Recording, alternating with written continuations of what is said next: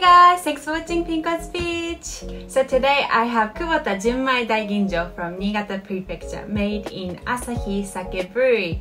So in my other YouTube clip, I explained what is sake and what are the different types of sakes and I use this sake as an example. So if you want to know more about it, just check out the link in the description section. Enjoy! Arigato! Cheers guys! Mm.